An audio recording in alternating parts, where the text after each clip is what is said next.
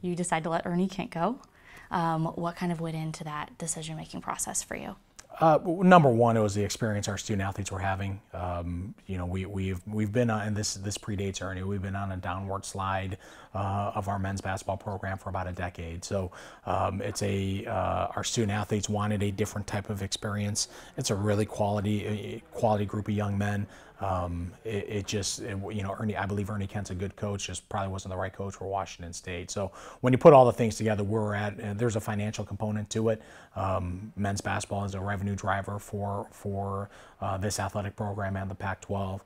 Uh, so our performance, where it was headed, just necessitated a change. Those are never easy, uh, but at the end of the day, we felt like it was the right thing to do at the time were you able to get donors to help pay for his contract, or, or how, how did that all come about? Cause no, we'll budget it, and I've been we've talked about it. There's there's a cost of action and there's a cost of inaction, and and just just look at our attendance.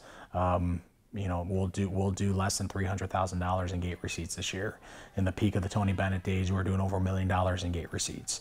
So just not, so there are there are other levers that need to be pulled, uh, but at the end of the day, I mean, finance uh, when you when you bundle everything up, finances were uh, uh, one of the reasons why we we were forced to make a change. What led you to Kyle Smith in your search? Extraordinary interview. Uh, really knocked our socks off. But but he he's he fits what we believe is the DNA of a Coug. He's a, phenomenal human being. Uh, he's got a work ethic and, and kind of a chip on his shoulder. Uh, he has a belief system and, and, and a style of basketball that that uh, that he knows he can recruit and, and coach to. Uh, his wife is from Chelan, Washington, one of the great high school basketball players in the history of our state. So he just fits us really well, and and we're excited about the next steps of our program. What have you thought of the job he's done so far? Uh, fantastic. I mean, it's, it's college basketball is, is, a, is a broken sport.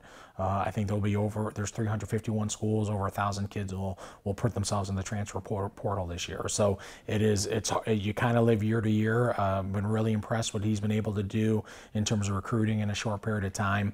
Uh, but it's, it's a build. I mean, we, you know, the term I like to use with all of our new coaches, it's, it's year zero uh, because we got to, we got to make sure the culture is right within, our, within all of our programs.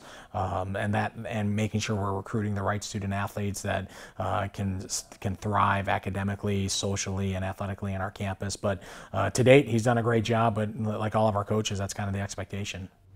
Very excited to see what he does down there on the Palouse. We'll be wrapping up our segments with Chun tonight at 6 as him and I discuss all the things he's learned in his first full academic year on the job. He's been a busy guy. Yes, definitely. Sure. Uh, four coaches he's had to replace yeah. so far, or three of the three of the four main sport coaches he's had to replace so far. So. Sure. All right, Brenda, thank you very much.